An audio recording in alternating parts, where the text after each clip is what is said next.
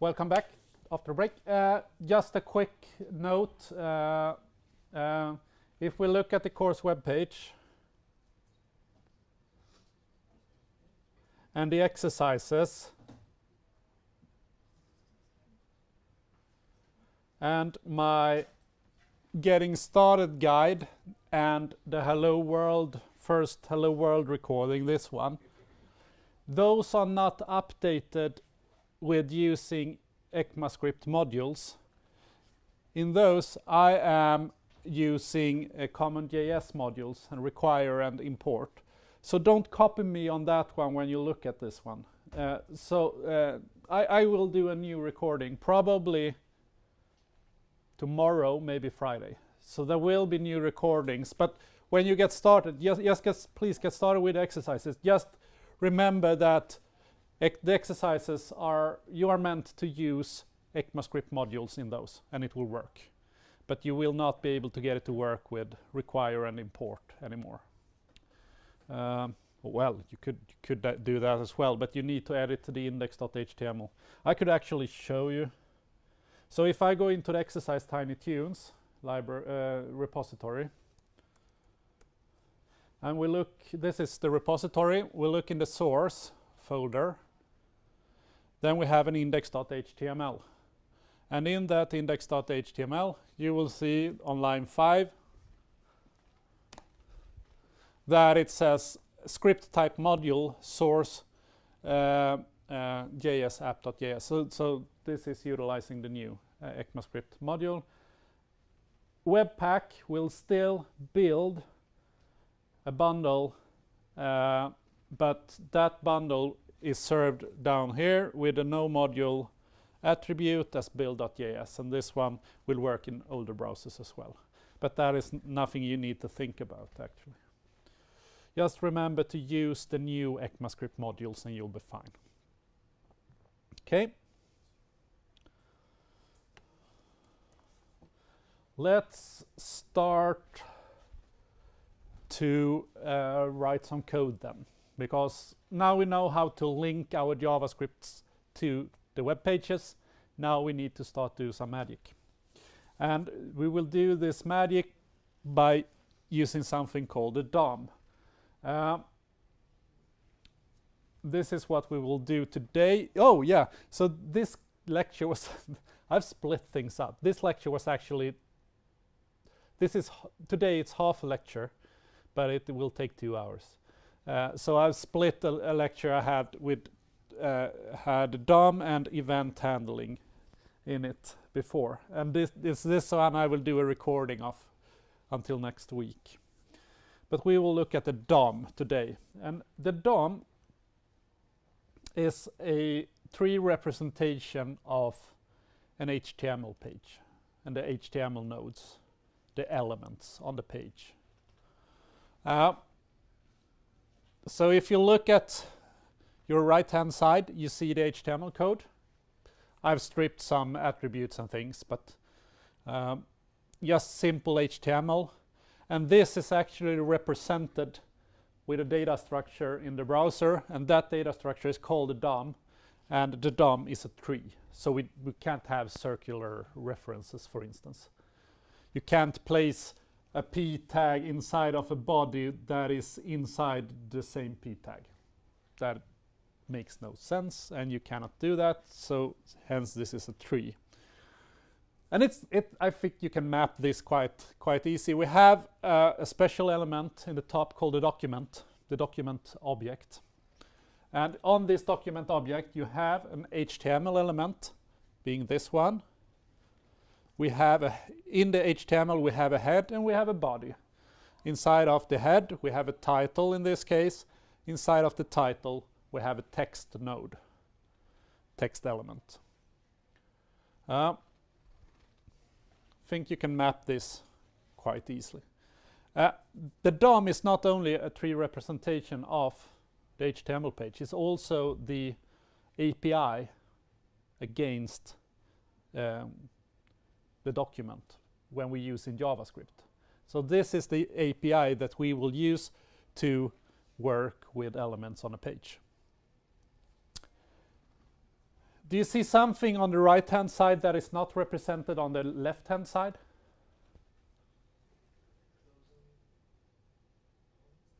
The closing tags, yeah. So in this case, those are the yellow ones are called elements. And an element is a starting tag and a closing tag. So that is what makes up the element.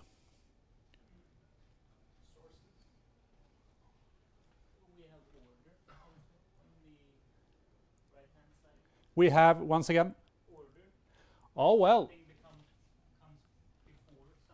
Yeah. Uh, and it's actually it's actually the same order here. So this is an arrayish, it's a node list, it's a list of every every level is a list. And this list I'm pretty sure will be consistent with the order in the HTML. So this being the, the, the zero element, first element and second element being represented in that case. And I've, yeah, so, so we have some kind of order. Anything else missing? The yeah, the attributes. We have the href and the source attribute. Uh, they are not shown here, but they are actually part of each and every element. Anything else miss it? Yeah. And this is quite a tricky one that has dealt a lot of headaches for, for web developers during the years. White spaces are missing. Uh, this really whoa, looks like this. Because when you develop, you tend to press enter after an element. You, you tend to have spaces indenting. And all of those uh, are actually elements in this structure. So it actually, the, the correct representation is this one. Um, each and every element is showing. So, so if I were to ask how many elements has the body, you would probably say, oh, three children. But it actually got one, two, three, four, five, six, seven children because it includes the white spaces. Going back to the war between Netscape and Microsoft, what if we can so Microsoft have had quite a pragmatic view of, of, of making things in the browser. They saw this and they said there is never a developer that is interested in all of those white spaces. So Microsoft stripped them away. Did the other browsers do that? Did the standard do that? No. So in Firefox, the body would have seven elements or seven, seven children child elements. In Internet Explorer, it had three. And I mean, it's irritating to work with those extra elements, of course, but it's even more irritating to working with two browsers that give you different a different uh, representation of the DOM. But that is what happened. This is the standard way of describing the DOM, and this is the way it is described uh, nowadays. Um, however, as we will see, we have some API, separate API calls for getting only the element nodes or also getting all text nodes. But we will have a look at that soon. I've represented those elements and, and nodes. I mean, a node, I got a question on this last year. A node is just a, uh, something in this tree. This is nodes. The blue ones and the yellow ones are all nodes in, in the document object model. However, the yellow ones are called element nodes. And element nodes are like H1, script, P, A, yeah, the usual elements. The blue ones are called text nodes. Uh, we have comment nodes and the, the special document node. You will probably not work with those uh, on an everyday basis at least. However, you will work with element and text nodes. They also have a value you can, uh, you can if, you, if you get a node and you don't know what it is, you can always look at its value and see if it has the node value of 1, then you know it's an element. If it has the node value of 3, then you know that it is a text element. And this was really useful when you had to like filter away all of those extra text nodes because if you were to iterate over all the children in the body you could have an if statement saying okay so if the uh, the uh, node is of type text ignore it and only work with the elements. And that was the way you had to do it. Working with plain JavaScript. Um, but when we had those problems, we also had libraries like jQuery that took care of things like this and problems like this. But we don't need jQuery today. Uh, traversing is a fancy word for walking. Uh, walking and uh, navigating through the nodes. I mean, you, you could, whoa, sorry, you could end up in, in, in, in, in some circumstance that you, you have a reference to the body node, body element, and you want to, to visit all or do something with all of the child nodes to the body node. So if we have a reference to the body node, being this top node on, the top of the page, we could call, for instance, start this one, first child, so if we have the node dot first child, we will get a new reference to this node, the first node, the first child node. However, first child and last child, they will point you to the first the, the first node, whatever node. In this case, this being a text node. So in the newer uh, implementation of the DOM, we have something called first element child. And this one is probably the one you will need the most because you are often interested in elements. So if you call first element child, you will get the p element or, or what it was in the, in the last slide. But if you call first child, you will only get the, the text element. Uh, when you are on a node, you can always call parent node and you will get to the its parent. No need for parent element because it's only elements that could have children. Um, you can use previous element sibling and next element sibling to go between siblings. And you can also use uh, uh, node dot children to get a nodes all children nodes. Uh, and that will only get children will only get element nodes. The older one, child nodes, will get all nodes, including the text nodes. Yep. Yeah, yeah, I, I've excluded them actually. There is a previous sibling and a next sibling, but in reality you very seldom use them. If you're not, if your job is not to, if you're writing an editor, for instance, you will probably need to use them because you want to probably do something with the indentation in the editor. But in normal circumstances, you will probably use previous element sibling and next element sibling. So, so you can always, if you have a reference to an element, you can always find your way around the whole HTML element and, and get somewhere else if, if, if your task is to change with JavaScript this A element's href, you want to change the href to something else using JavaScript, and you have a reference to that image. Do you think it's a good practice to do parent node, last sibling, first child, first element child? Is that a way, good way of, of like doing things like that? You're shaking your heads. No, because this is really prone to if someone inserts an element somewhere in this child list on the body, it will break your, your application more or less. So there are certain circumstances when you need to like traverse the DOM. Often it's more like this A element has an image element inside of it, or this list element has an A element, and you got a reference to the list element. Well, use first element child then, and you, uh, you get a reference to the, the A element inside of the list. But that is pretty much it. you you never want to like walk a long path inside of the HTML document if you're not creating some special kind of tool or something. But in, in normal circumstances, you do not want to do that. Um, a better way is trying to select the node you need uh, when you need it. Yeah, oh well, one more thing on this one.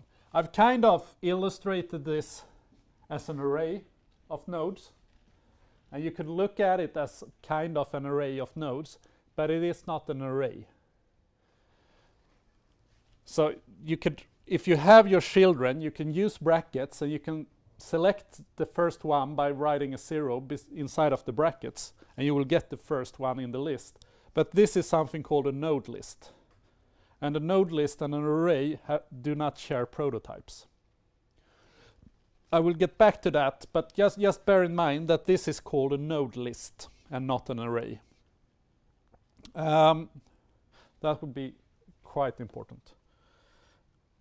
Okay, if we want to select a specific node on the page, you can kind of draw the par parallel to, to the, the style sheets or CSS. When you write CSS, you need to select something to be able to, to, to change that element. We have three uh, uh, uh, three uh, methods. One called get element by ID, get elements by tag name, get elements by class name. So those three uh, uh, methods can be used to extract specific elements or get a reference to a specific element inside of the DOM. Get element by ID will give you Will it give you a list or will it give you one object, one node? Yeah, says so on the slide even. One node. Why, why, why only one? ID is considered to be unique, Yeah. IDs, we, and we said this in the CSS uh, uh, lecture, IDs as an attribute on an HTML element must be unique on the page. However, in CSS you can cheat. You can have many IDs and if you say, say, says that those IDs should be read, they will be read, for instance. However, in JavaScript you can't cheat because get element by ID will only uh, return a node element. Maybe the first one, maybe the last one, I don't know. You should never get in a situation where you have to depend on some having having the same ID twice on a page. Always unique. Get elements by tag name. Well, an indication is that, okay, it says elements. You will get a node list back. You will get one of those lists back with all elements of a certain tag.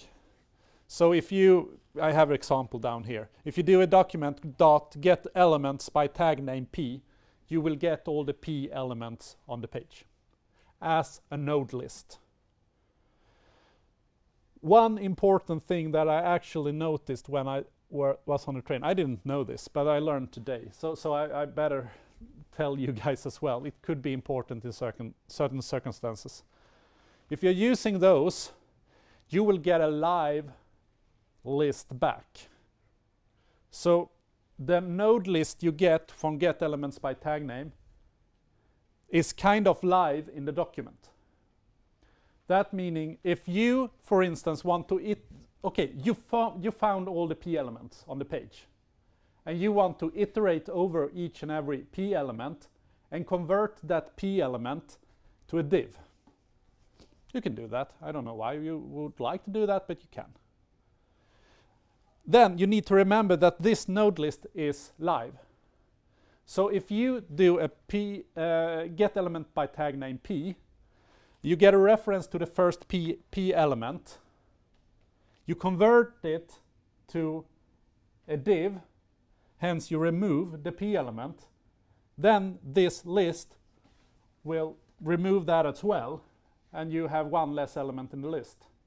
So if you do that in a for loop, and you take the next node, then you will actually skip one node, because that node will be shifted. So if you want to iterate over that kind of, of, of of list, you should actually start from the back and work your way forward. if you don't want to miss anything. Or do it in, you can work with the first one until the array is empty, node list is empty if you like. Uh, but this is a live updated. As soon as you kind of do a change, it will re-render and this list will be another list. The same goes for get elements by class name. Um, I think I said in the CSS lecture, please use classes. If you if you want the behavior or, or add behavior to something that everything should be grayed out or inactive, use a class, and then we could add JavaScript to get all those nodes and do something with them. And we get an example, let tags document get elements by class name post, and we log the length. So we see, okay, we have 12 posts on the, this page, for instance. You can calculate stuff. Those are pretty, I mean, get element by ID, that is commonly used. It's been in the standard forever. Uh, get elements by tag name as well. Get elements by class name. I'm, I'm, I'm, I'm feeling old if I say that it's new because it was new in like 2005 or something like that. But, but it's, not, it's not been in the standard all the time. This was, was a really good use case for jQuery as well because you often use jQuery to get, get elements based on their class. Okay, but there is another way. Yeah. Do you know why they behave this weird way? Uh, no, I don't. You're you're you're, referring to the live update. Uh, yeah. No, I I I just I watched. I think I watched a video. No, I read in the book. It says in the literature actually. I read the, I read the course literature, and it actually says that it's live updated. I, I've I've to, I I've I've programmed in JavaScript for I don't know how many years, and I've never had a problem with it. So, but they they apparently are. Uh, what is not updated live is uh, a newer API called the Selectors API, and and this one I I would probably recommend you using this because then you have one API for doing whatever you you need to do.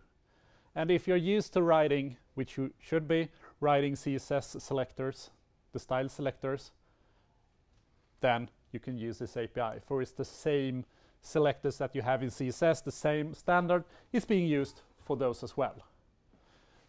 So instead, if you would like to find all, find the element with the ID main, you do a document dot query selector. Query selector, the first one, will give you a node element back. Query selector all will give you a list back. But we do a query selector of the main and we will get the reference to that node. And query selector all, and we write a p, then we will get all the p elements back on the, from the page. Of course, we can do it like this, query, combine selectors, p dot tag will give us all p elements with a class tag. What happens if we separate? Yeah all descendants of a p tag, a p element with a class set to tag. So, so simple classical CSS selectors. And you can, I can use, I guess, more or less all CSS selectors in, in, inside of, of this API. This will not give you live, uh, live uh, uh, node list back. So what, what this will do is with you get a, a, node list, you can work with that node list, and after your code returns, a re-rendering will be, will be executed. So in this case, I'm, I'm, I'm a little bit confused, but so when you get this live view back, it must update the DOM in the background somehow, and that, that I'm confused about, but whatever. Use this API in normal circumstances and you'll be fine. Uh, it's a pretty simple API. This as well, ha uh, how many has coded in jQuery before? Yeah, so, so, so if you have used jQuery, this was like one of the big things with jQuery that you were able to select elements using uh, CSS selectors. So, so it was adopted by, by V3C, I guess, and put into the standard. Um, yeah, as I said, the node list that you get back using one of those elements, uh, th those methods, is not an array. Uh, as last as two years ago, you could not use a for each iterator on a node list because for each iterators were on the array prototype but not on the node list prototype. However, now you can you can do a ptag node, node list dot for each and, and use the iterator function for each on node lists. However, you cannot use map, for instance, reduce, filter, because they are not implemented on the node list prototype. An easy way to get around that is to convert the node list to an array. And you can do that by using the array from method.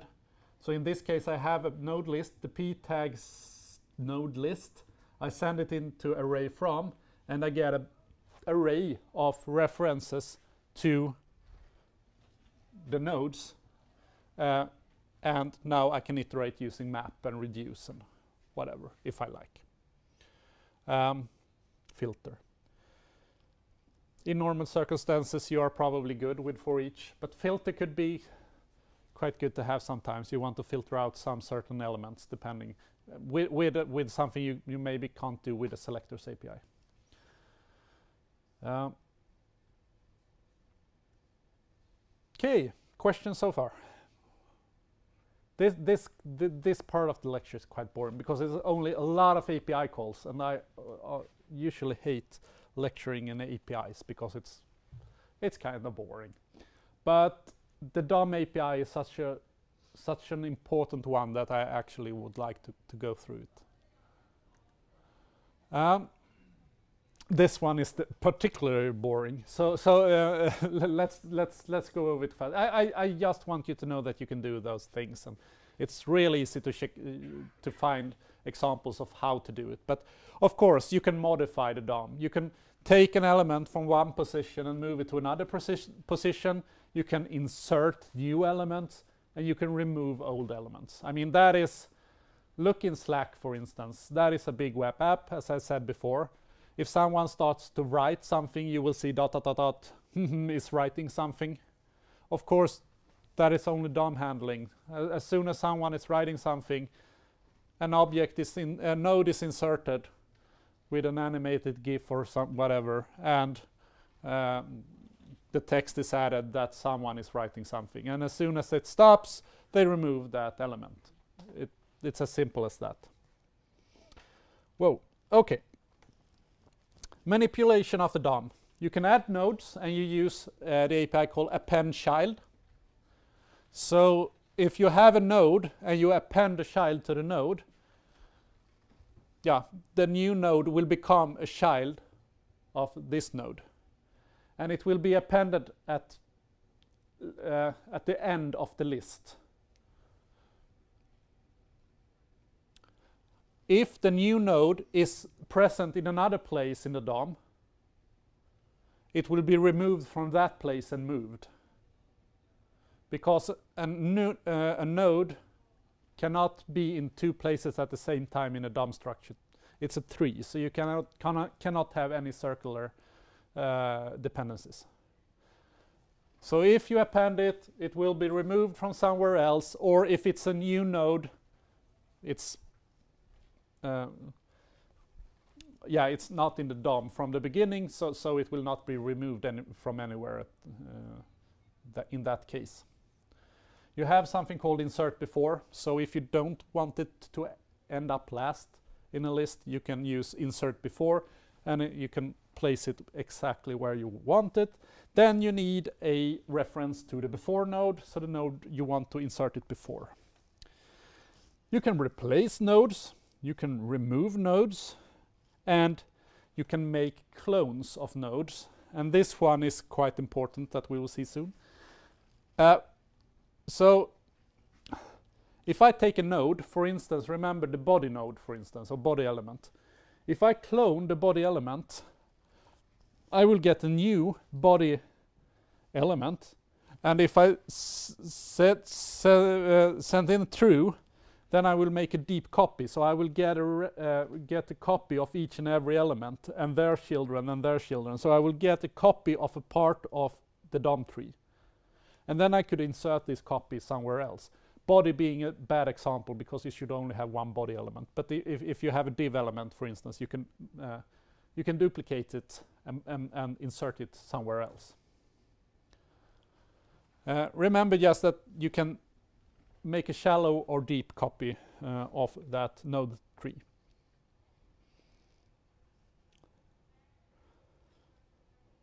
You can create nodes out of nothing. Um, you have the document create element, which will create a new element node. You just say if what you want it to be called. You can create a document text node, uh, which will which will create a text node for you. Yep.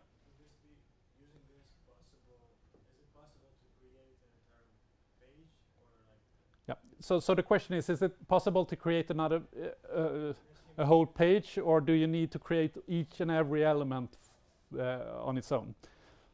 You'll see soon.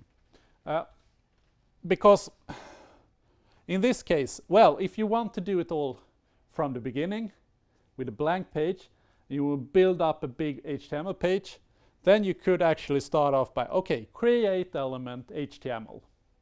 Okay, create element head. Append child head into HTML. Create element title. Append title into head. You can do that.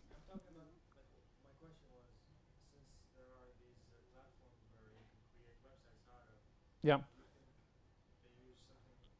Yeah, I, uh, I think you will get a question answered soon. Uh, so, so it's, it, it's it's really not the same thing because that is probably done server side, uh, generating a web web application. Uh, you could do that in JavaScript on the client as well if you like. Uh, you would not probably not use this method because that would be you will see quite cumbersome.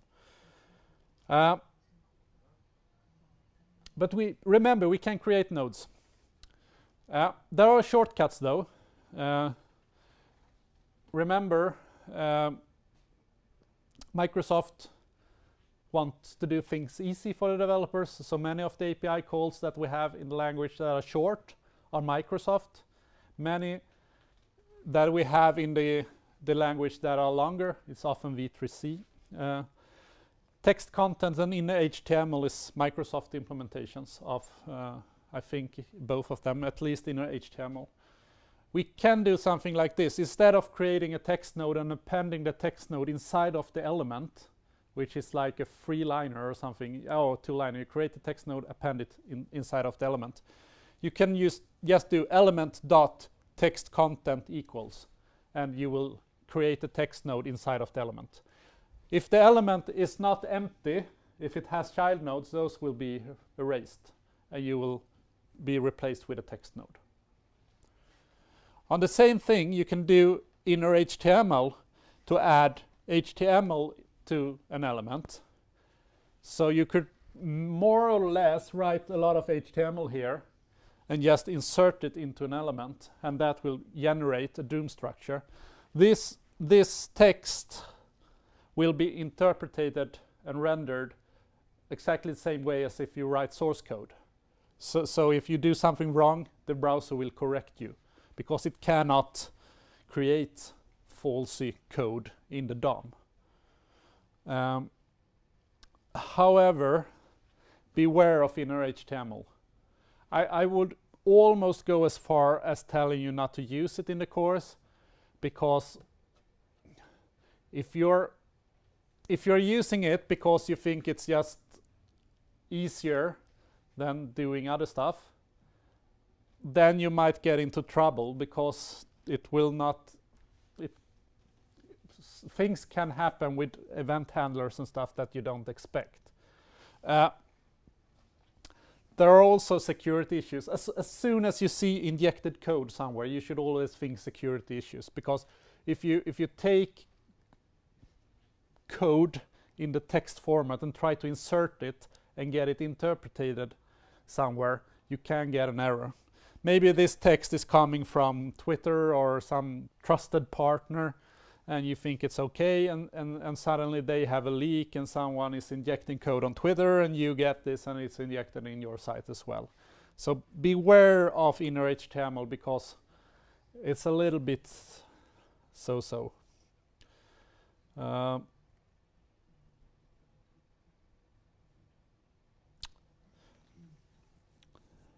I will get back to better ways soon. Attributes. Uh, of course, when you create an element, you want to attach attributes, you want to add attributes, you want to be able to read the attributes of an element. You have get attribute, set attribute, and remove attribute. Quite a simple API. That's what you expect it, expect it to do. Have an example, we're creating an image. On the image, we want to add a source element, source attribute, sorry, to point to image picture SVG and then we do a query selector for main and we append the new tag being the image and we append the image to the page. When this code returns or lets go of the main thread, often it means it returns and it's done executing, then this will be generated and rendered. And since an, a new image has arisen inside of the document, the browser will uh, make a network call for that image, loading that image and inserting it into the browser. So, so this picture.svg SVG is not there from the beginning, but as soon as this code returns, it will be fetched over the network.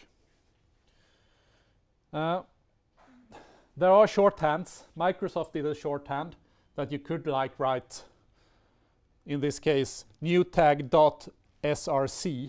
equals without using the set attribute. Uh, however, there are problems with that one.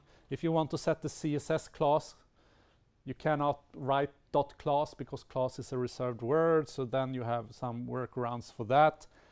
I would say always use this standardized API, even though it might be a couple of more characters to write sometimes.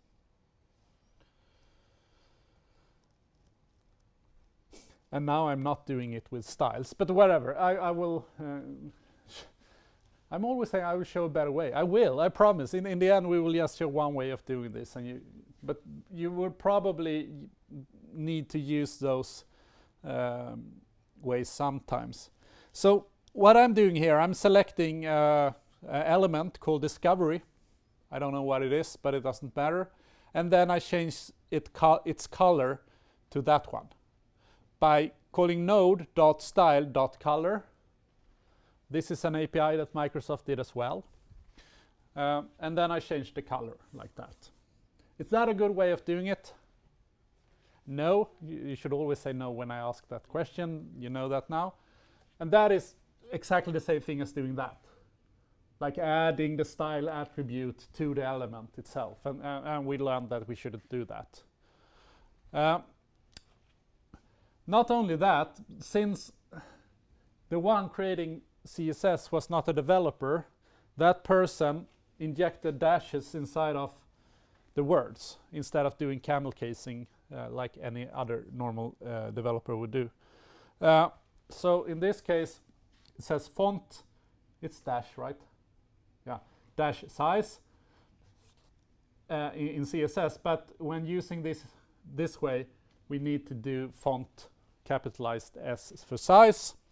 We have a CSS property called float. Float is a reserved word in JavaScript, so you need to add CSS float. And there are more like this, and it's just quite cumbersome to remember.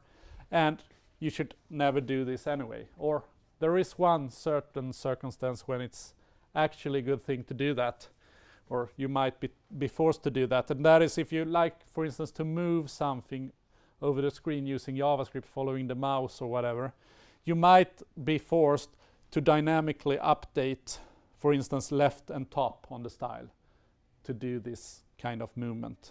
Um, there are probably there are certainly libraries that do does this for you, but if you want to do it in raw JavaScript, I guess that is the way you have to do it. But we are trying to strive for separating structure, presentation, and behavior. And doing things like this, this is mixing it all up again. Uh, in certain circumstances, okay, but those are exceptions. How you should do that with styles is like this. You should use classes, CSS classes. So instead we do something like this. We create uh, or we query and get a reference to the discovery element. And on that element, we use the class list API to add a class. So we add a class, CSS class, to that element. And we have the code for, for that what, what those kinds of elements should look like in the CSS. So in the HTML, it will look something like this, class whatever and JS changed. Since I'm using this class list and, and doing add, add will add the JS changed. It will not overwrite if there is something there already. And in, in class attributes, you can separate different classes with uh, uh, uh a space. And in the CSS, I have a class that I call changed. And as soon as this p element will get that class, it will also get this CSS rule applied. So it will change its color. Now this is a really basic example. Of course, it would probably be a lot more CSS happening. For instance, a border appearing and a shadow and whatever. But um, it's just an example. On class lists, you have class list add, you have remove, will remove. Not all of them, they, you will remove a specific class. You can toggle a class. This one is particularly useful. So often you want something to be on or off with a class. It should have the class. If it has the, if it don't have the class, it should add a class. If it has the class, it should remove the class. And that is toggling. So you could uh, ask it to toggle JS changed. So if it had it, remove it. If it haven't, haven't got it, add it. And you can check if this list of class uh, contains a specific class if you want to examine that. We will get back to this one uh, during the peer instru instruction in a couple of weeks. Yeah, so, so this is a simple example. You can all, if you look at this, it's, it's simple. You have a div element with post elements and you have some UL element with list elements containing a, a elements. It's, it's quite obvious, right? Okay. I, I actually don't think that is obvious. It's, it's, it's hard to read. It's hard to visualize because it's just duh, a mess of, of, of code. That actually looks like that div class post ul list class active a href the first link the second link that html if you ignore the templates is the same thing as all of those API calls. And this is getting closer to your question now because this is not a good way of doing it because you will, I mean, you it's so easy to make something wrong, to add like the attribute on the wrong element or, or add it inside of the wrong element. Uh, th this is a much cleaner representation to write the HTML in HTML. And that is why we have something called templates. Uh, so we can create a template. So this is written in HTML. In, inside of the HTML document, I've written this template because this post we can think about Slack once again. So, uh, as soon as someone is posting something in, in, the Slack client, I want to create a post like this and add it to the client. So, so I will need to do a lot of, of creating posts.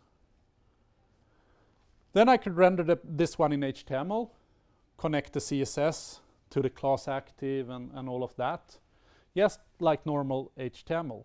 But instead of just adding it to the HTML, I add it inside of a template element. And this template element is a special element in HTML because the rendering engine will, will totally ignore everything that is in between. It will just skip the template. It will see, oh, a template, and then it will start rendering after the template. The template will not be shown in any way on the HTML page. So it's a safe place to put put this kind of code that you somewhere down the line needs to use. Okay, So we have this in HTML, and then we do a let template equals document query selector post template. So we get a reference to this template element. And then we create a clone using the clone node that we talked about before. So I take the template, I take the content of the template, everything inside of the template. I don't want to clone the template itself. I only want the content inside of the template. Otherwise, if I insert this template on another page, it will not never render. So I need the content inside of the template. Could probably do template dot first element child dot clone node true because we want a deep copy. We want to copy everything inside of, of this div. Uh, then I get a clone and then I take the body element and append the clone inside of the body and it will end up in, in the end of the body element or wherever we would like to place it. A much nicer way of pushing out content in the browser. Uh, this is a built-in template engine since I'm not sure how I'm actually not sure. Let's see.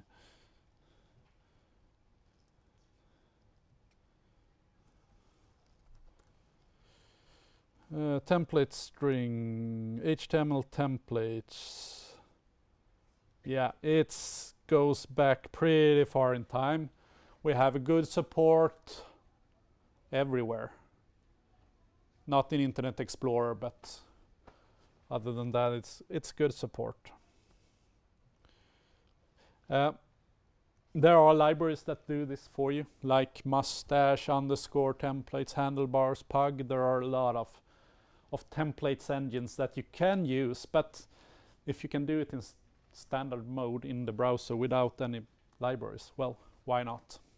Well, there are certainly some limitations to this this way of doing it, and you have probably, if you're using some of those libraries, you have broader support and things like that. But this is what I will focus on in the course. I'm throughout this course, I will kind of not look at libraries. Uh, I, I, always, I've gotten the question for like 10 years, why don't we uh, learn jQuery? Because you don't need jQuery. Uh, that's why. So, so, so, I try to, to kind of teach the standard way of doing stuff. Sometimes you will need to use libraries to have a fallback, but those libraries change all the time. The standard are probably there to stay, so that's why. Okay, templates. Uh, use them. Uh, and this is what I said that some of you will be afraid to use the template because you need to remember this those three lines of code. You, well, you don't need to remember. You need to have a bookmark on this page or on Mozilla page. But how to clone a template? Just bookmark it and, and, and use templates. You will be so much easier off. And we will probably ask you on the, on the examination, oh, why didn't you use templates? Oh, well, I don't know why I didn't. I used inner HTML and then we will insert some bad code into your application and you will be so sorry. So try to use templates. They are not that bad. I will just like to show one thing. now I'm, I'm, I'm, I'm, doing exactly what I said I shouldn't. I'm using inner HTML. Uh, so you can create templates using JavaScript without being in the HTML page. By doing a create element on a template like that, and then I use inner HTML to populate the template with HTML element. Uh, this is kind of adding HTML to inside of the JavaScript, which breaks every rule I've talked about concerning uh, separation of concern. However, if I back up to this one, this way of structuring your applications in HTML, CSS, and JavaScript, I've probably said it before, but that is kind of like sorting Lego by color. So, and that is a perfectly good way of sorting Lego if, if, you, if you want. But maybe you want to sort the Lego instead out of applications. So every part for cars or, or vehicles in one box and all parts for houses in one box. That is another way of sorting Legos. So, so this is not the only truth that you should always separate HTML, CSS, and JavaScript. There are certain cases when it could actually be, be, be clever to sort it by functionality rather than by, by uh, uh, file uh, ending.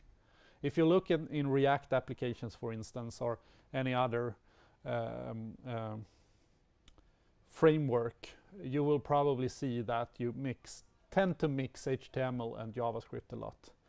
And we will start to talk about something called custom elements soon.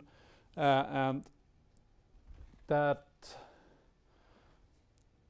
to get a nice structure on those custom elements, it could actually be a good thing to do, do stuff like this. It's not optimal, but it it has its trade-offs. And we will actually get to that now, I think. Uh, but maybe we should have a break. Uh, so after the break, I will not code a larger example, but I will talk about this larger example. Uh, and we will see how we can structure and organize our code. So 10 minutes break. Uh, in the course, when when I used to have this lecture surrounding the DOM, I used to call this this lecture "Once Upon a Time in Springfield," uh, and then we kind of had the DOM, the events, and timers and stuff, all crammed into one uh, lecture, and I was able to to live code an example as well in that lecture. Uh, and that example is called Bartboard. And that example is nowadays an exercise instead. So, so it is an exercise with instructions. However, I have an extended demo uh, coding that Bartboard. Uh, and in that one, uh, you're supposed to create, basically you're supposed to create this board, uh, this uh, blackboard, where Bart is supposed to be able to write the same sentence over and over and over again, looking something like this. Uh, so if we have a look at this this this application, it's only kind of a div element. The blackboard is a div element with some styling, with borders and a background uh, color, and then all of this text is added to to that element. And then when you press the mouse button, it should start writing letter for letter, and when you, you release the mouse button, it should stop. That is for next week when we talk about events and how to trigger things depending on what the user does.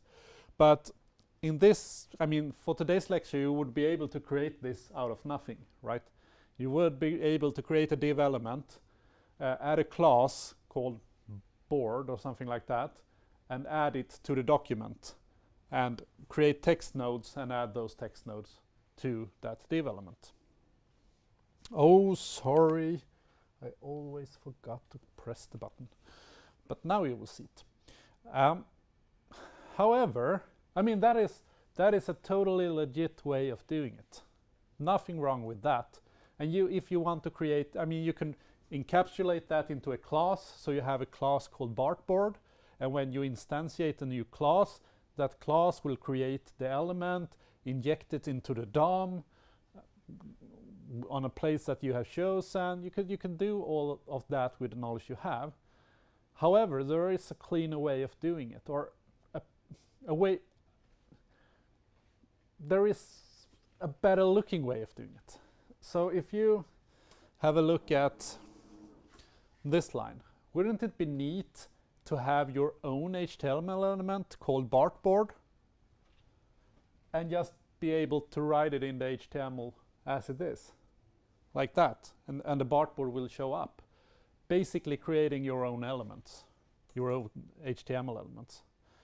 And you are, you're able to do that with something called custom elements. Uh, this is kind of new.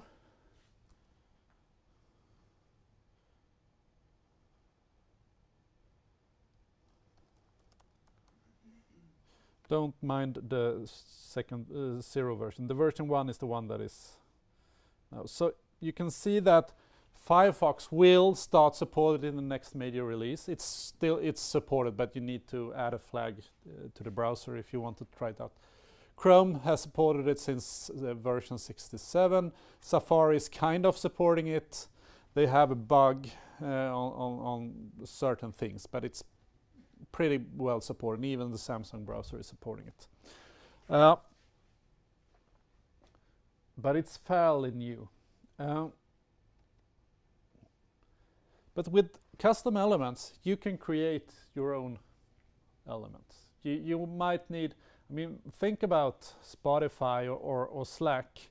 In Spotify, for instance, you have uh, you have quite clear components if you look at, at the application. You have some kind of player controls. You have some kind of uh, carousel of, of uh, uh, record covers, for instance, and, and, and, you have a search bar, and you have so, so, so if you start to analyze ap applications, you will find that they are a lot of small components. And it would be really neat if those components could be described with just a simple HTML element. It would be so much easier to positioning stuff in the browser when you just could like have those element uh, as elements. You would also increase uh, reusability a lot if you could like write re reusable components and share them in, in, in some kind of library. That is called web components and it's a fairly new concept. Well, has a couple of years uh, at least uh, since, since it started, but it's not. we are not there yet. The browser support is still quite poor.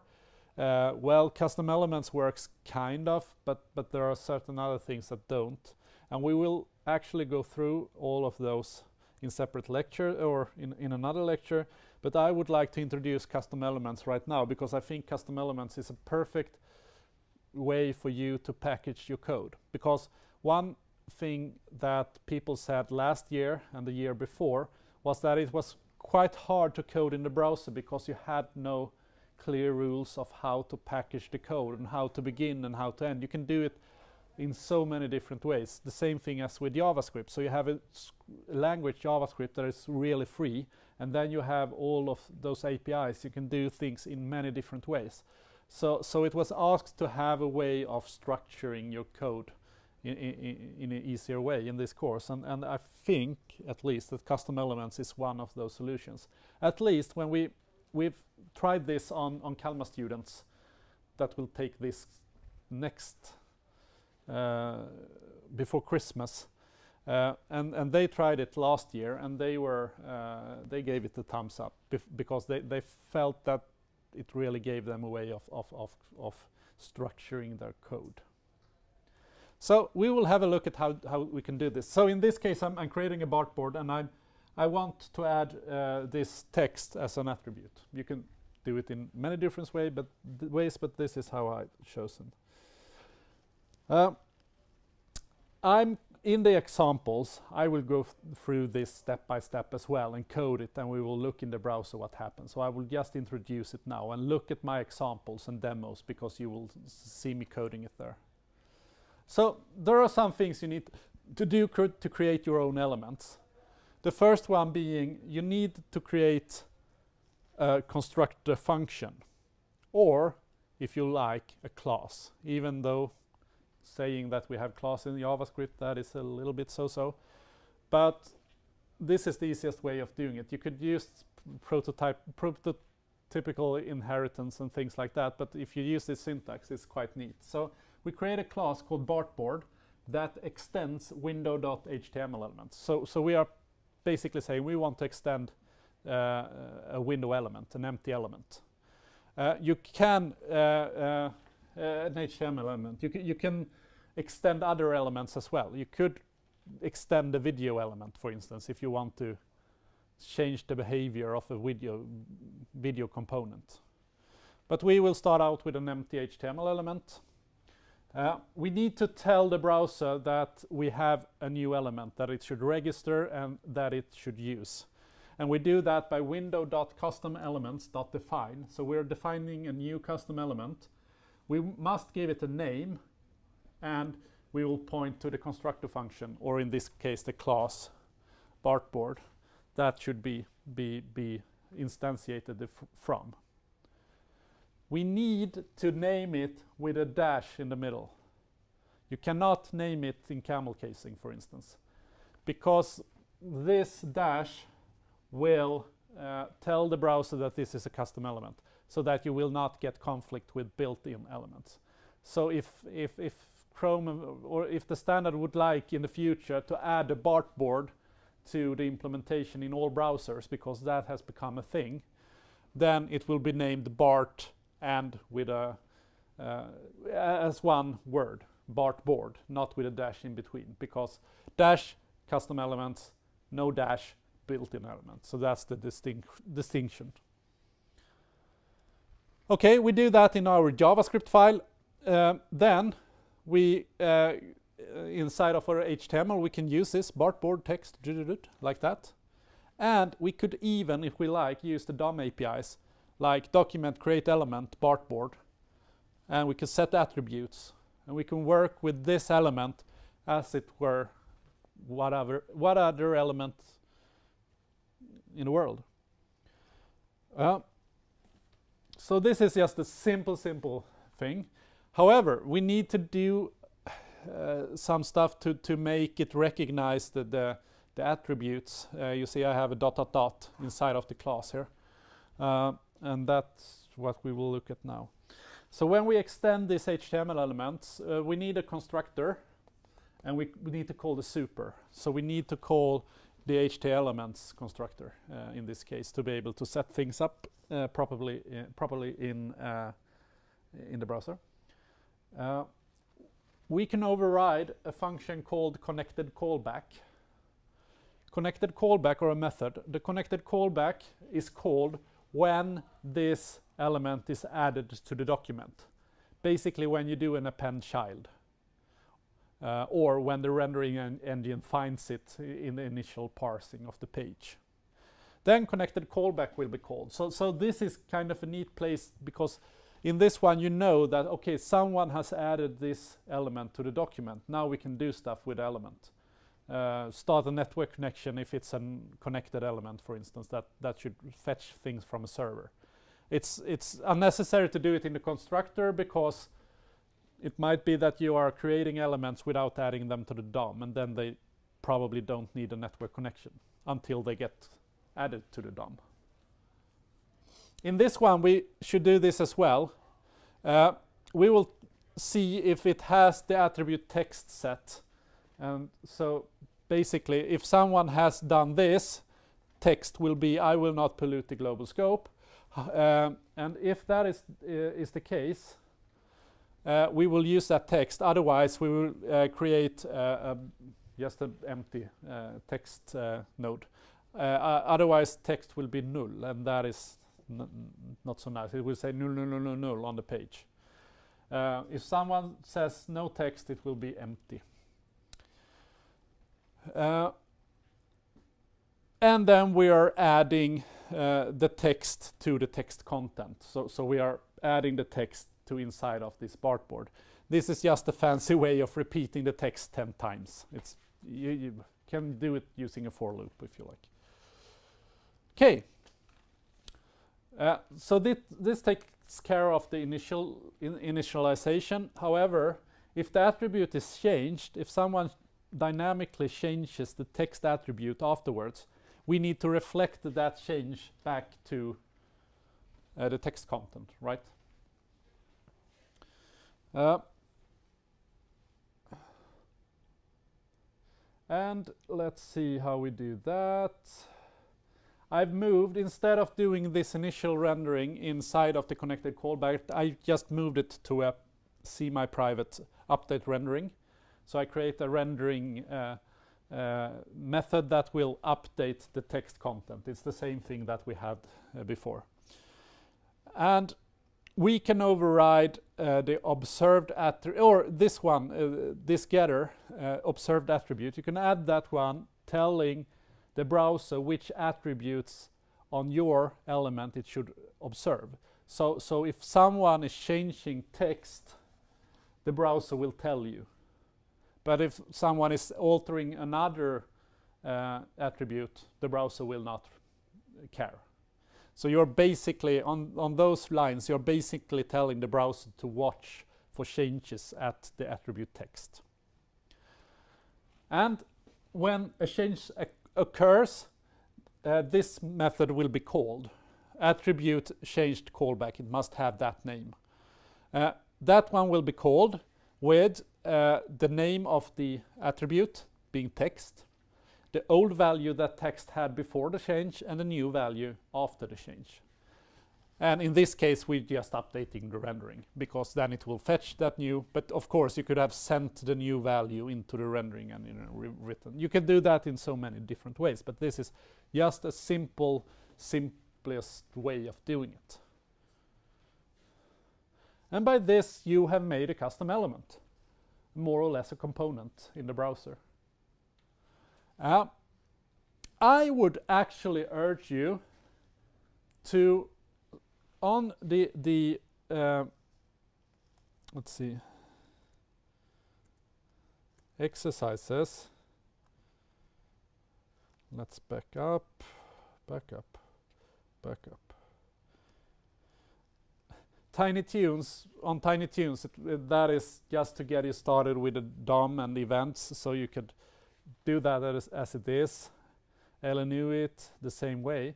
But after bartboard after you've, you've done this, try to use custom elements on, on the rest of the, the, the, the exercises.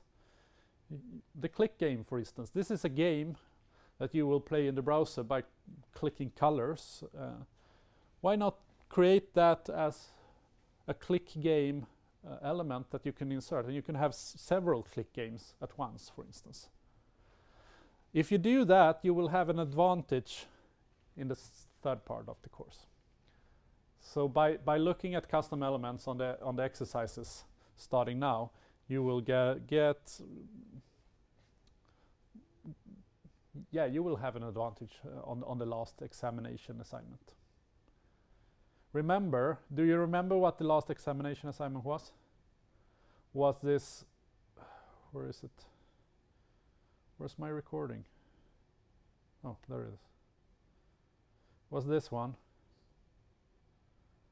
Some kind of desktop with oh chat chat applications a video application if you like uh, memory application note applications different kind of applications that you are able to create and move around and stuff. If those were separate components or custom elements I think you will have a much easier time orchestrating orchestrating this this application. And as you will notice one of the applications here is actually a memory application. This is the memory application. You will click like those images and they will turn. If they are the same, they will be removed. That application corresponds quite neatly to the last exercise in the course. So if you've done that exercise, then you have already fulfilled one of the requirements in the last uh, examination assignment. So that is one, one reason why you shouldn't skip the exercises. And this uh, autocomplete demo, that is just like when you write in Google, you will see that it will add such su suggestions for you. When you write something, it will add suggestions. This is that kind of um, functionality well, maybe you can find a way of, of, of adding this to your last examination assignment as well. So they're not done in vain. Okie doke. Any questions on uh, on custom elements? This is we have just touched upon the basics of creating uh, creating custom elements. We will, will we do that now? Oh, maybe we will. Yeah, we will look at something called the shadow DOM. Uh, when when wh- when I've described a DOM, I've described it as, I mean, okay, going back all the way to the top. If we look at this picture, I've described image, and we could have had a video video element here as one element. If we add a Bartboard, create our own uh, element, it will be described as one element in this DOM structure. However, if you look at, for instance, can I do this in real time? This is, okay, we will try. This might go to waste, but I hope YouTube is using the video element. Okay, so you can see we have the video element. They have a lot of attributes, but it's a simple element.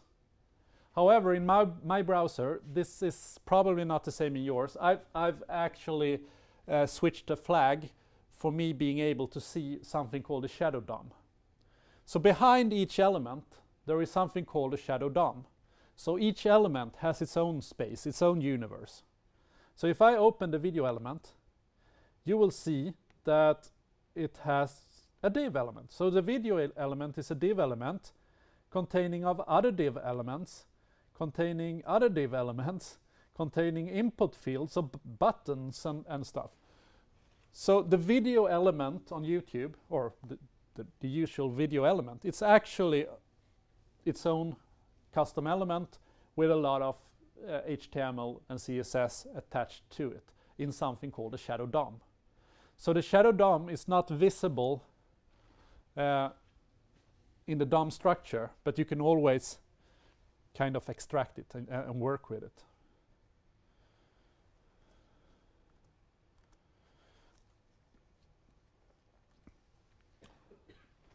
Yeah, this is what I'm showing here. Uh, and that is pretty neat because when you write CSS, you have probably all started thinking about "Oh, it's so, so so tricky. If I just want to to change things inside of my little application, I must take into consideration that I cannot change all piece because that will affect everything on the page. I can only change things that are under my own ID or something like that, or under the, this class name or something like that. But if we move the CSS from the original CSS file and place those inside of the shadow DOM, they will live in inside the DOM and only affect things inside of that element, that custom element. Uh, so this one, I'm creating a template, and this is where this comes in again with uh, creating templates using inner HTML. An element and template element, and I'm inserting inner HTML to this one. Uh, I'm adding a style like that. That's totally allowed to add a style like that. You should avoid it, but in this case it's pretty good. By doing the pseudo class host, I will point to, in this case, the board element.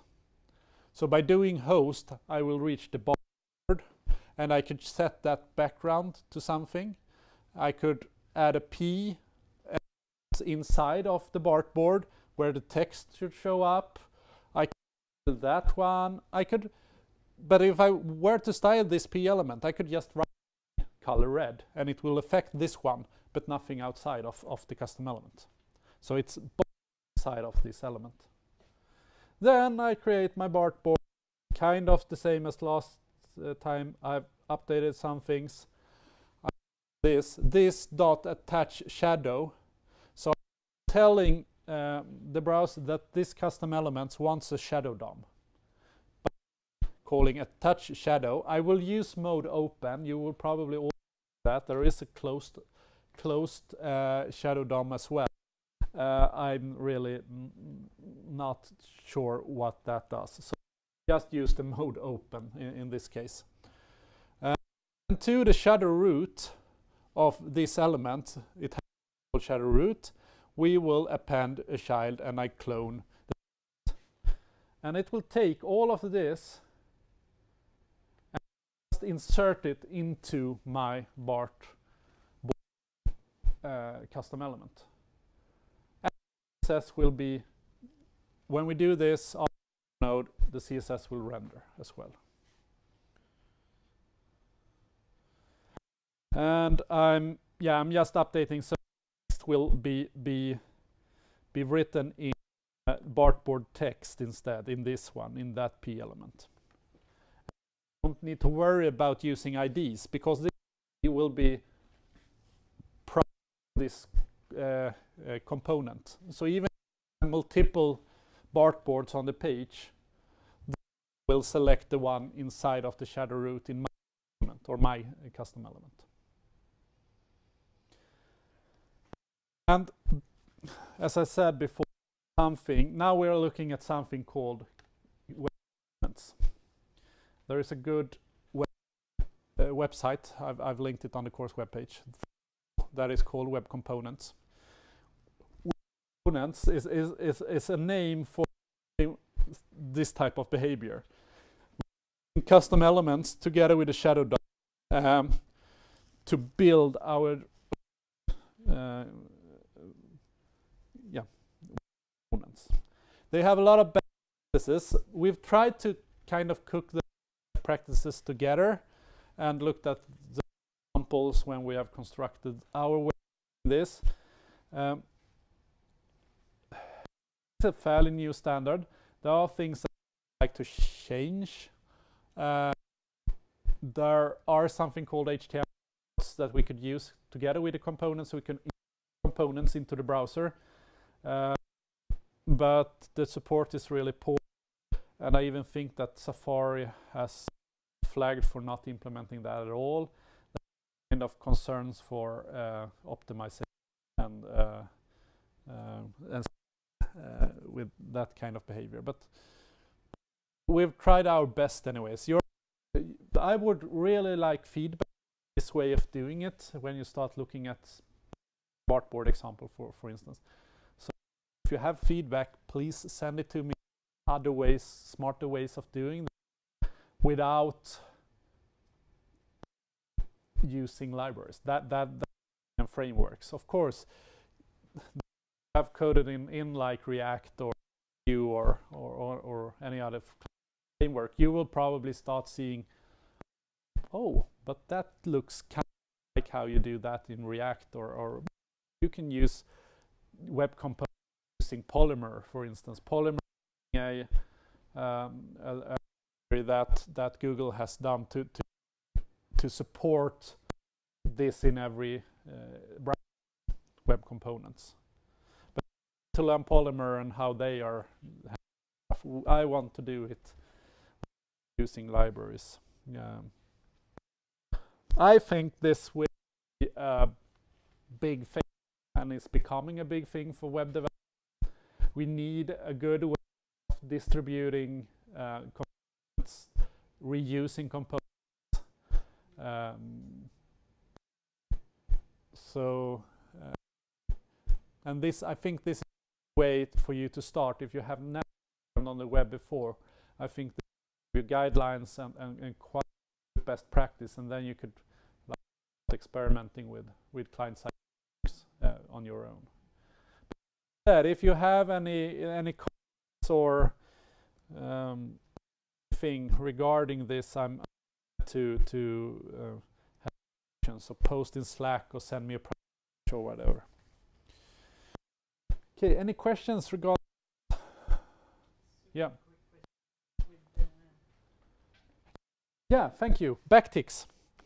Uh, I forgot this in, in, uh, in about strings.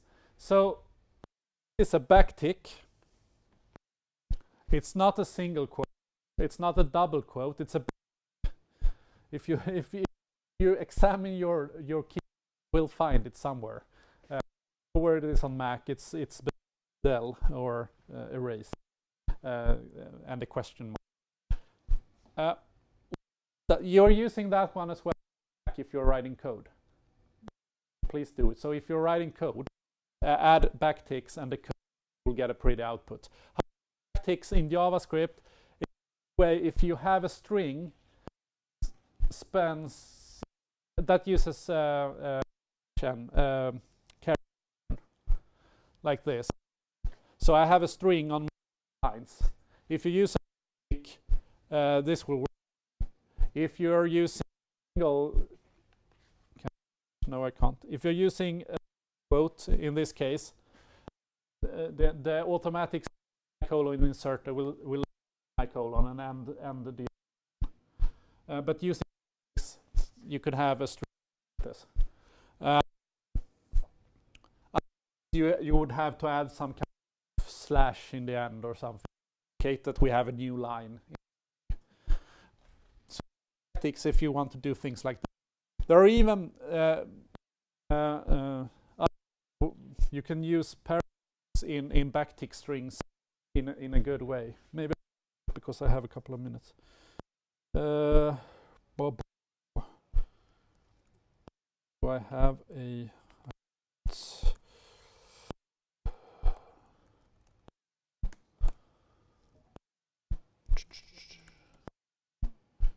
Uh,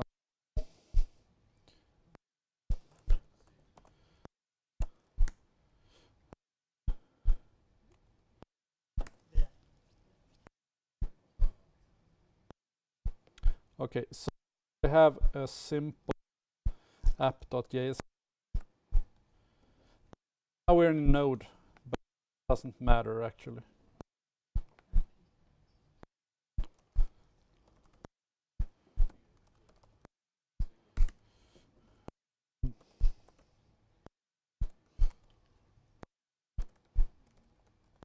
Blue.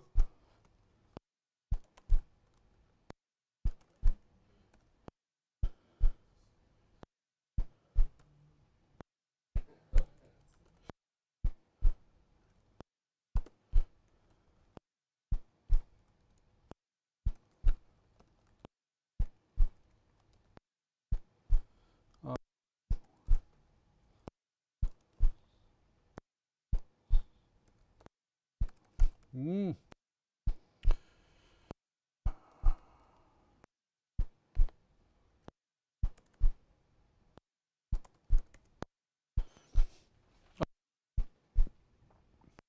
A very simple to show what you can do with the back. You can use this parameter syntax to to insert uh, things from outside of the to the string. So it it it it, it, is uh, uh, the name inside string. You use a regular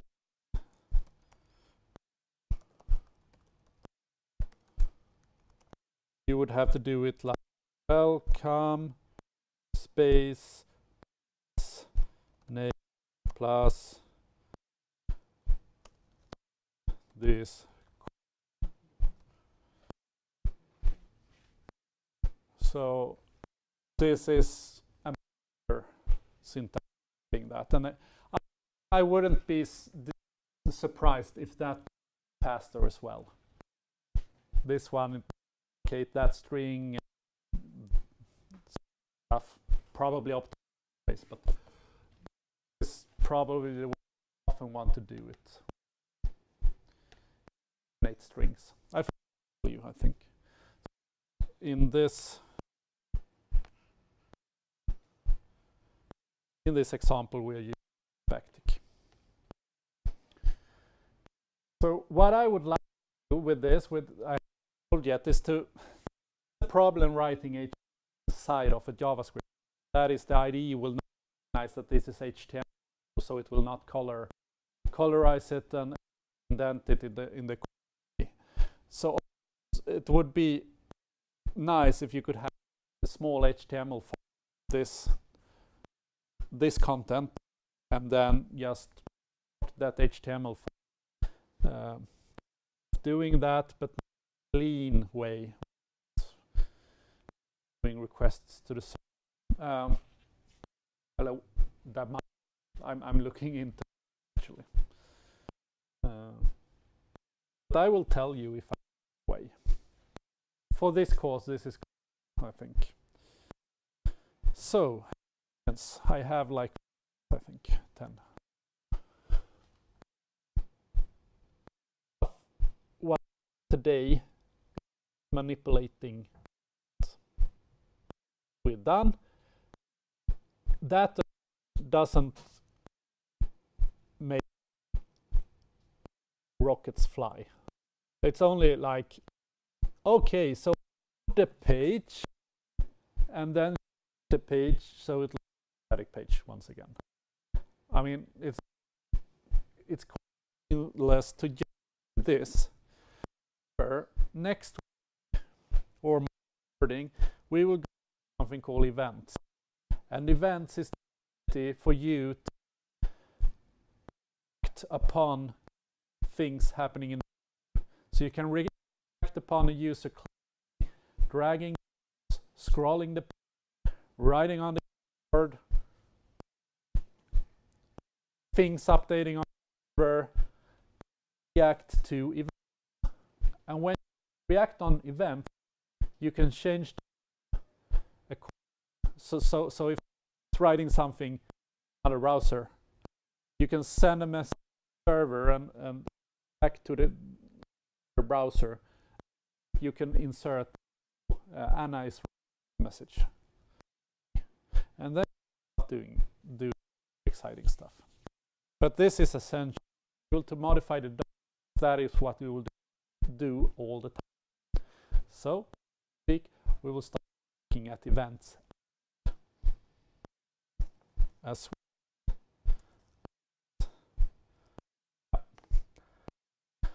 we'll look concept because it goes hand in hand. We will look into concept asynchronous asynchronous programming. Uh, and it's probably of those things that will feel for you with a background. You're quite running programs structured way. You might threads, but JavaScript we don't have, we don't have threads. Um, single threaded. Have another mechanism, asynchronous programming uh, called. Yeah, we will we will have a look at uh, week as well. But the concept that is, if it's something really important, I mean, if you if you grasp this way of good, because probably that people has hardest to to grasp how happening in the browser synchronously and to program things happening in the order are happening. Being able to stop the execution code in the middle of a then that will restore something has happened like that. We will look at that as well. Uh, after the lecture, you will be able to, to the examination as well. So please uh, watch this one. You can now. Or in uh, you can watch uh, the Swedish if you're in, you can watch the English. It doesn't matter. It's the same. Um, from last year. Don't know why it says 2007. 2007. But events, record that one uh, for, uh, in wrong with this recording, but I would like to English version at least. English Version should be up because it's new. Questions? You had no questions then we will end by 6. Okay? Thank you.